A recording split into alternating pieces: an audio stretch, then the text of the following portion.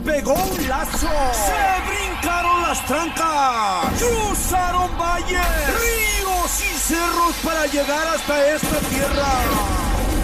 ¿Dónde llegan? Su misión es dar espectáculo. Raso queda. ¡Listos, señores! Lo que importa es ver caras contentas y corazones alegres.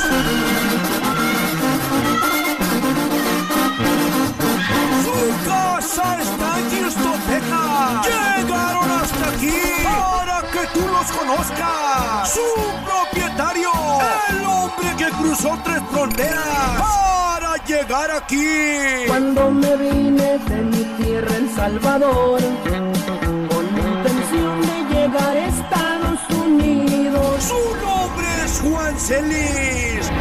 Aquí les presento al salvadoreño.